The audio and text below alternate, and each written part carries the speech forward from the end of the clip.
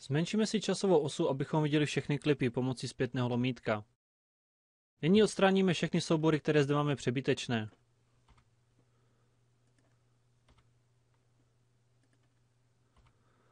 A taktéž snížíme výšku první stopy. Do projektu vložíme písničku Team 2 a vložíme ji do spodní části. Vidíme, že nám neumožňuje vložit tento klip do audio číslo 3, protože tato stopa je pouze pro monosoubory a naše písnička je v stereu. Nepoužívané audio a videostopy můžeme jednoduše odstranit kliknutím pravým tlačítkem Delete Tracks a zaškrtneme Delete Video Tracks, Delete Audio Tracks a možnost All Empty Tracks. Nyní si zvětšíme audio.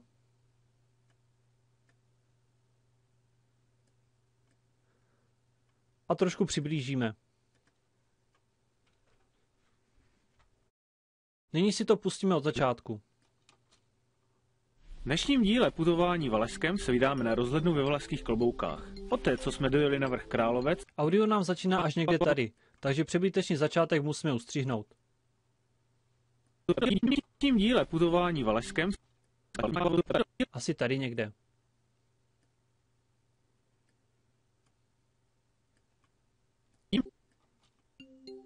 V dnešním díle putování Valešskem se vydáme na rozhlednu ve Valašských kloboukách. Poté, co jsme dojeli na vrch Královec, se musíme vydat lesní pěšinou sůru k rozhledně.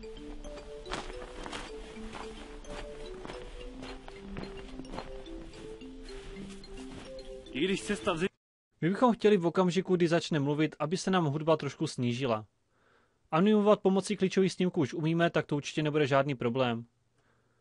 Audiostopu si trošku zvětšíme, ať máme více prostoru pro manipulaci. Zhruba v tomto místě chceme audiostopu snížit. Pomocí nástroje Pentool vytvoříme nové klíčové snímky. Jeden tady a jeden o malinko dřív. Nyní tento druhý stáhneme níže, například na minus 10 decibelů.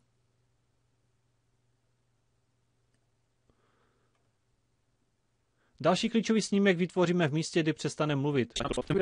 lesní pěšinou k rozhledně. Vytvoříme další klíčový snímek a hned vedle toho další. Druhý klíčový snímek vrátíme na původní hodnotu. Nyní si to poslechneme. V dnešním díle putování Valešskem se vydáme na rozhlednu ve Valašských kloboukách. Poté, co jsme dojeli na vrch Královec, se musíme vydat lesní pěšinou sůru k rozhledně.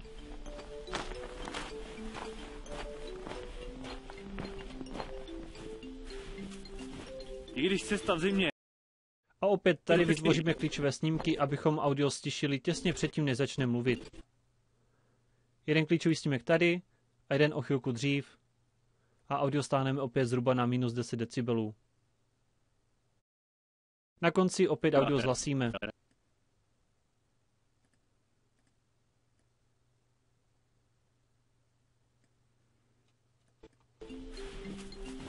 I když cesta v zimě je trošku náročnější než v létě, zasněžená příroda, to je nádhera.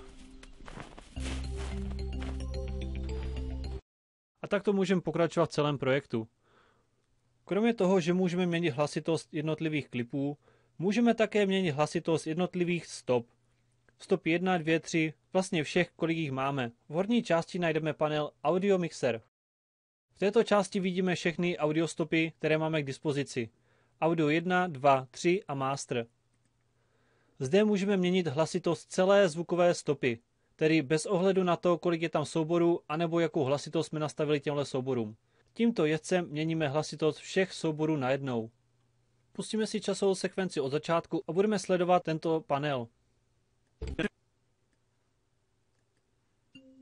V dnešním díle putování Valašskem se vydáme na rozhlednu ve Valašských kloboukách. Poté, co jsme dojeli na vrch Královec, se musíme vydat lesní pěšinou Pokud se nám hlasitost naší melodie zdá moc hlasitá i nadále, můžeme jednoduše snížit.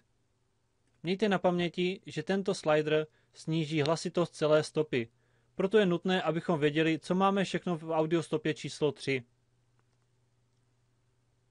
pěšinou sůru k rozhledně.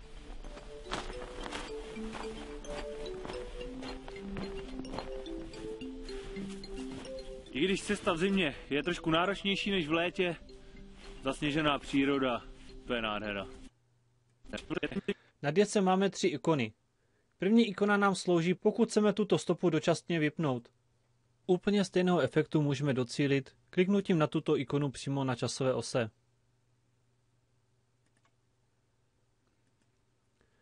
Ikonou vedle toho je ikona Solo. Tato funkce nám slouží k tomu, že se bude přehrávat pouze tato zvuková stopa a všechny ostatní budou stlumené.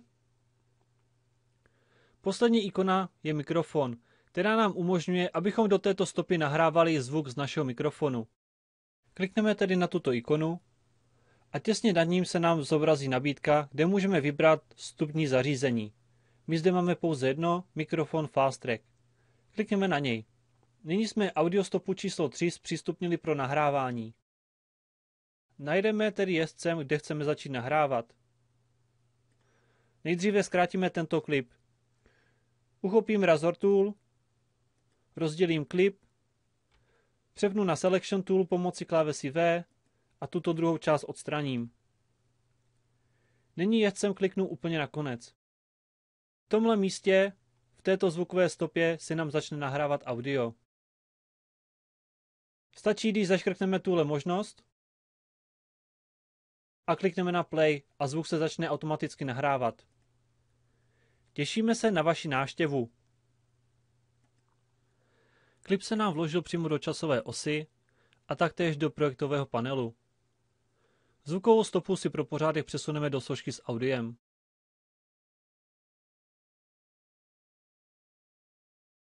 Mikrofon, s kterým jsem nahrával, je pouze mono, tudíž se nám nahrával pouze do levého kanálu. Pravý kanál je prázdný. Pokud bychom chtěli, aby se stejný zvuk přehrával z levého i pravého kanálu, můžeme použít například efekt Fill Left. Těšíme se na vaši návštěvu.